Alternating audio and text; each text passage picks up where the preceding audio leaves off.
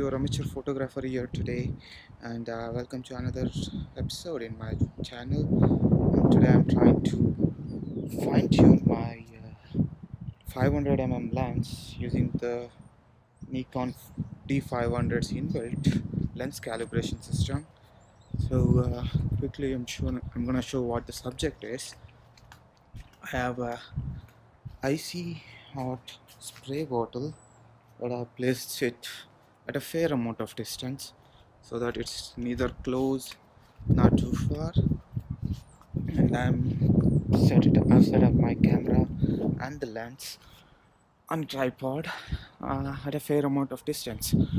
So quickly what and all we need to do? Just a couple of things. First of all make sure you put your uh, camera in single point autofocus. You can do that by pressing and holding the AF button and rotating your thumb screw uh, the the shutter shutter screw shutter speed screw okay? But uh, after that the second thing is put your camera in live view mode. And as you can see focus the subject. And when you see the uh, the square turn green that's when uh, you get the confirmation that the subject is in focus. Once that is done press and hold. Let me place the GoPro right there. Once the subject is focused press and hold the AF button and the record button on top at the same time. And you will get a message saying that before proceeding fix the camera in place and all that stuff. Say yes by pressing the ok and your value is stored. Now press ok you can go to menu.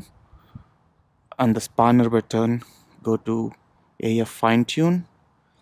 And you see there is a saved value of plus 4 on my Nikon f500mm f4 VR lens. I've saved that lens as number one so it's showing a plus 4 value.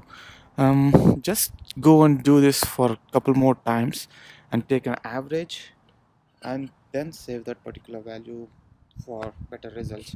So I'm gonna try and do this for a couple more times and uh, get an average for that. Let's see what, what value we get this time so it's focused. AF button and the record button. Get the message. Say yes and say okay.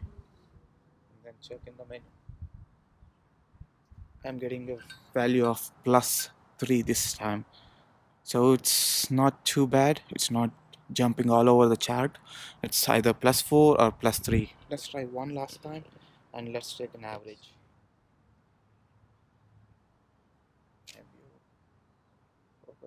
subject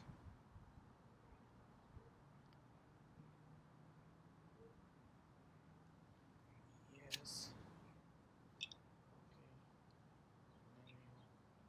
Yeah plus 2 so I believe the range is somewhat plus 3 so I'm gonna make it plus 3 and save it for this particular lens. And uh, hopefully I get some better shots. And, uh, thanks for watching and thanks for tuning in to this video. If you like this video please do leave a thumbs up and please do subscribe. Hopefully I'll be posting more such videos in the future. And uh, maybe you'll come across some of those videos that you might like. Thanks a lot and uh, have a wonderful day guys. See you in the next one